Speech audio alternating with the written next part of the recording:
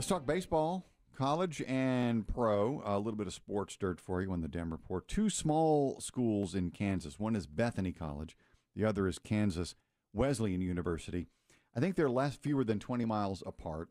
Huge rivals, as you can imagine, uh, especially athletically. The team's records this year are not great, but as you probably know, when it's a rival game, it doesn't matter. Wesleyan had a doubleheader scheduled at Bethany over the weekend, and as is custom, the home team provided water for the visitors. It's the least they could do. But something didn't seem right, especially between the two games of the doubleheader. According to Wesleyan's Twitter feed, someone associated with Bethany's baseball program put a foreign substance, possibly paint thinner, into one of the water coolers and gave it hmm. to the visitors. Oh, Dang. Bethany has promised a thorough investigation. Mm-hmm. A good man and thorough on this one. Yeah. Photos on Twitter do show something looking very wrong with the water. Like you can see oil slicking on top. Mm. But as we have learned, just because something is on the internet mm-hmm. doesn't mean it's mean true. it's 100% true. That's right. Wesleyan lost the first game but won the second one 33 to 2. Okay. All the right. photo accompanying the nasty water cooler read putting paint thinner in the water coolers to get our players sick, still getting roasted by 31 runs. Wild. Stay classy. Hashtag Buck Bethany. So, all right, we get the reference. Buck Buck Bethany. Pretty good. Yep. Yep. And uh, well, I've seen that before. Ohio State started that. They did Muck Fishigan a few times. Okay. I, as a Wolverine man, that hurts. You know, I'm a, And a Panther man. That's my Big Ten team. I'm a Michigan Panther fan. Yeah. And when you say Muck Fishigan, you say Muck me. Okay, that's what you're saying. Well, mucky. So they lost. They they they put the paint thinner in the other team's Water cooler bucket trying to make them sick. and still lost 33 to 2. Well, nobody drank the water. They they, they Oh, they could saw see the slick on top. God. Although I don't I don't know how often you even look into the top of a water cooler. I know. mean, if you're just pouring it into a cup, Like Yeah. If you taste it, you taste it, might Yeah. think it smells funny. then you, might think, look. Do you think that the uh, water and, and like something like paint thinner would almost separate so all the paint thinner would go to the top? You know what I mean? I mean, you still wouldn't want to drink it, of course, but is that helpful, do you think? Because, you know, it's oil and Yeah, water. which is heavier. right. Maybe, unless the paint thinner goes to the bottom. When I put diesel gas in my car, Yeah. remember that? Yeah. Years ago now. Did you know I did that? Mm. Yeah. One time. It's not a diesel car. No, Yeah. it wasn't. I was driving a Toyota Camry at the time. Really want like Sporty. yeah muscle vehicle. Yeah. Got the ladies. Yeah. That, uh, really wanted that. This was in the late nineties. It had the um, well, my favorite detail was it had the spoiler on the back. I just put a spoiler and a pinstripe down the side. Hot. I asked him to add the pinstripe. I said, you know, it wasn't factory. I said, let's Yeah. as an add-on. What color was the car? Beige, What color was the pinstripe? dark beige. Brown. Beautiful. I just Oh, let's yeah, go- envision it. go CD player? Can you see it? Uh, six disc changer in the back. In the in back. the trunk. In the That's trunk. convenient. Okay. You was living the lap. Very. Yeah, I was living the lap. That's right. I was. Uh, Sunroof, moonroof. uh, check and check. Didn't use them. Did not use them. Wanted to save. Wanted to conserve. Conserve what? The sun? Aerodynamics. Aerodynamics, my friend. Well, I wanted to speed out there.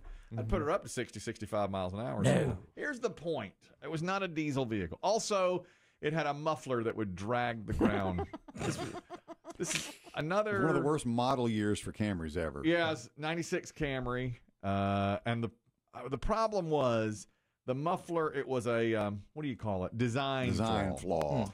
And so anytime you would go over a speed bump, scrape. I mean, it was terrible. If it was at night, you could see sparks. Yeah. and if somebody was in the back seat, like occasionally I'd go on a double date, Yeah. put a couple in the back seat, you know, and if you went over a speed bump then, or even if you did, You had no clearance. crunch. I mean, it was awful. And so I took it back to the Toyota dealership where I bought it and said, "Can you do something about this muffler?" And they were like, "Oh no, design flaw." And they had that ready, ready to go. It's like that's just the way it is. You know, there's nothing you can do. No do. recall. no, unfortunately.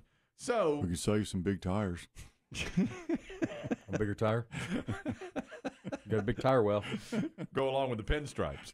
Sure. No, unfortunately, uh, on Christmas Day of '96, I had to put gas in the car. I was driving back home after visiting my parents for Christmas, and I put, uh, I filled it about halfway and realized, oh my gosh, I'm pumping diesel into this car.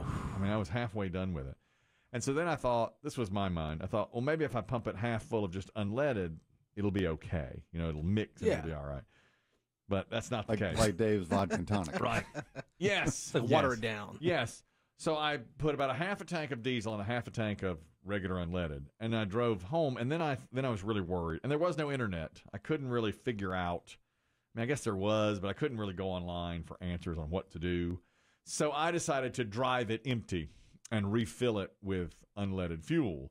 And so I just drove in our- Miles. miles and miles. One know, way one way, and back the back the other. Just drove because it was Christmas Day. I had nothing else to do. I mm-hmm. just drove, and at one point, at about the halfway mark, it just seized up. And later, the state trooper who helped me said, Because you called 911. "I did. I had to. I had to. What was I to do? He broke Called- down. I broke down. I was Call on, Daddy. I was on I forty. I didn't want Daddy to know.